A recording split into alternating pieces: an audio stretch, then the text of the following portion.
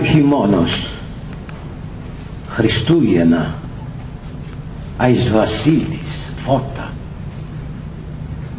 Και αυτός σηκώνεται το πρωί, έριπτεν εις ώμους την παλιά πατατούκαν του, το μόνον ρούχο όπου εσώζεται ακόμη από τους πρώτης ευτυχίας του χρόνους και κατήρχεται στην παραθαλάσσιον αγορά μορμυρίζον ενώ κατέβαινε από το παλαιό μισογκρεμισμένο σπίτι με τρόπον ώστε να, να τον ακούει η γειτόνισσα. Σεβδάς είναι αυτός δεν είναι τσοροβάς έροντας είναι δεν είναι γέροντας το έλεγε τόσο συχνά ώστε όλες οι γειτονοπούλες όπου τον οίκουαν του το εκόλλησαν τέλος ως παρατσούκλι.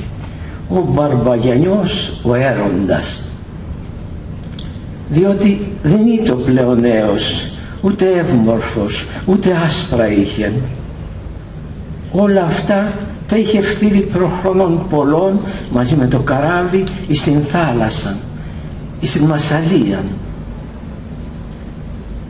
είχε αρχίσει το σταδιόν του με αυτή την πατατούκαν όταν επρωτομπαρκάρισε ναύτης στην βάρβα του εξαδέλφου του.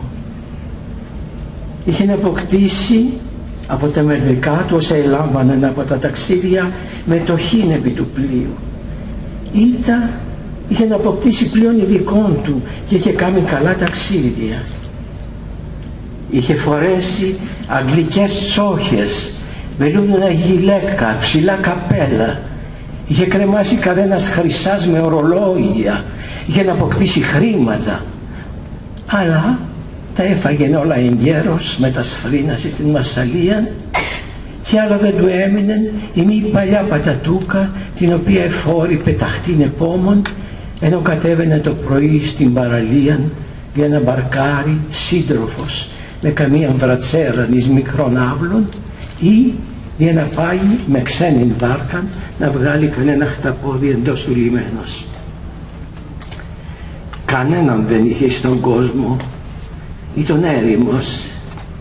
Είχε νυφευτεί και είχε χειρεύσει. Είχε αποκτήσει τέκνον και είχε τεκνοθεί.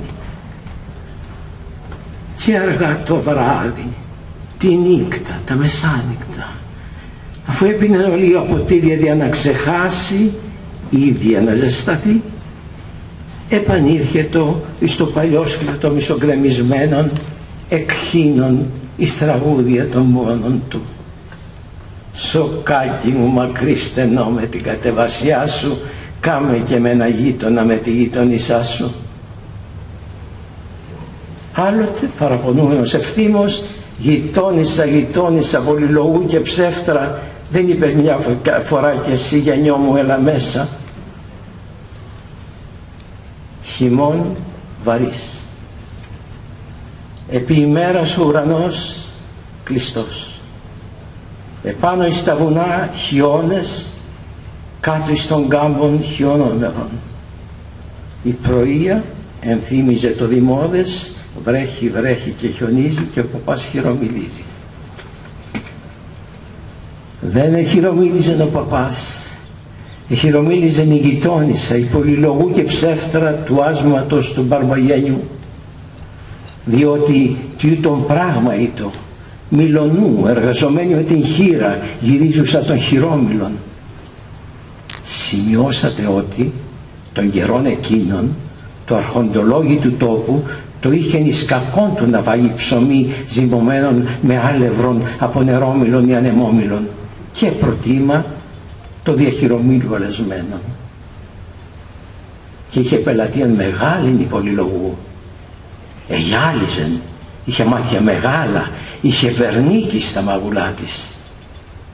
Είχε έναν άνδρα τέσσερα παιδιά και ένα γαϊδουράκι μικρό για να κουβαλά τα αλέσματα.